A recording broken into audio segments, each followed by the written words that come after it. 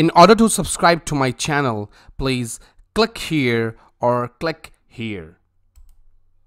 Please share, comment and like my videos and channel. Hey guys, this is Gaurav. Welcome to ServiceNow 4 minute video for developers. We are continuing with series 1 that is for REST integration. And this lesson number 7 is about scripted REST API. What is scripted REST API? ServiceNow gives you a feature for customizing REST API, and that's called scripted REST API. It allows developers to build custom web services API. Developers can use scripting to manage request and response. So it might happen the third party application might need some data uh, uh, with some customized way. Maybe out of the box, maybe table API is not able to fulfill that particular request. In that case, you use scripted REST APIs. In ServiceNow, you have a specific module that is scripted REST APIs under System Web Services. When you will click on that module, you will see all the out of the box scripted web services which have been created by ServiceNow all those custom scripted APIs. Scripted URI. Now the important part of scripted web services, scripted REST API is URI. That means which is given to your consumer so that it can hit to your instance.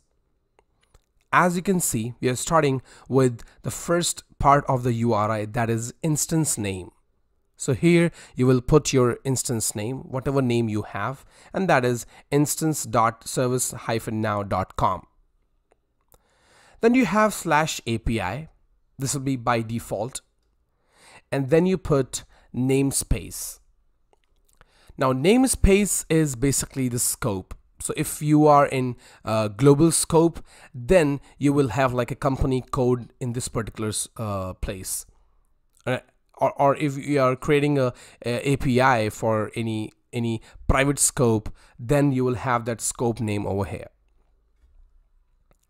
then we have version so this will define the versioning of your API then we have API ID that is value of API ID so while creating this scripted web service you will have this API ID here and the last part is relative path. That means it's kind of a resource path that which resource you want to connect to. That's what you define and that gives you the relative path. Scripted API configuration. Now, as I mentioned that you can create a scripted API in ServiceNow.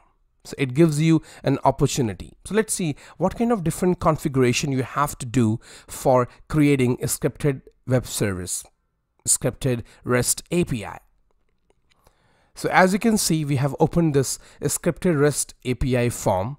That is first field is name where you will mention the name of your scripted REST API. Then you will put the API ID. Now this will be displayed in the URI, which will be given to the consumer. Then you have active, inactive. If you want to make it active, inactive, then we have protection policy. It's related to the who should access, not just the, I'm not talking about the URL. It's just kind of a protection policy as part of the scope perspective. Then we have application, whether it's like global scope or private scope. Then we have API namespace. Now, we, we were talking about the namespace where you mentioned the scope. It can also show you uh, the scope of uh, the application you're working on. And that's how you can see here now. Then we have base API path. Now this is the base path which you have to give to your customer or consumer and then you will have the relative path but before that you will have this base path when you will design the URI for your consumer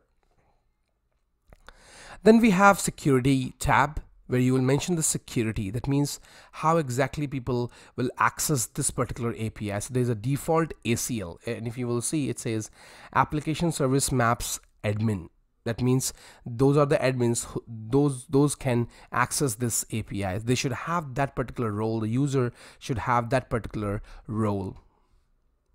Then we have content negotiation. When i talk about the content nego negotiation in that case now in what format you want request in what format you want response that's what you can mention over here.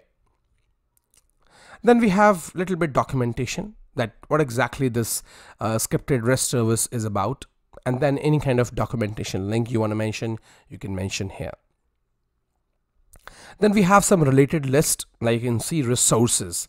Now this is the important section where you define the resources where you mention then what kind of data people or what kind of activity they will do. For example you can see we have http method post now if you if they will use this particular resource they will be able to do post they will be able to insert some data and they, with that particular relative path. Then we have request headers. So if you want specific headers in that case you can mention here. And if we have any query parameters. So if you want to utilize any query parameters you can mention over here Then we have scripted REST resource. So as I mentioned, now resource is the important factor as part of your scripted REST web services. Because when we will when you will define the resource, then consumer will be able to use that particular resource for particular activity. So for example, if you'll see now this particular resource is for create or update. So the method we have used is post then you mention the resource path that what exactly this resource path would be. And it also shows the relative path. And then there's an option to do scripting. And that's the reason we say said scripted web services. Now whatever data uh, consumer is looking for you can mention and do your scripting and return in request or response accordingly. So you can manage your request and response with the help of this scripting. So that's how you do this API configuration. Thanks for watching my video. If you have any questions, please put in the comments. Thank you.